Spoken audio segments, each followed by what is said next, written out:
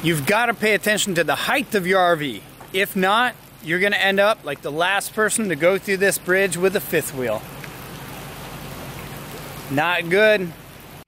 11 feet. The last person didn't fit. Ooh, yeah, there's some of their roof.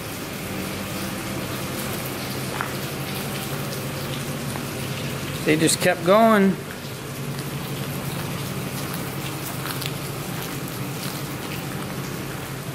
All the way to the campground.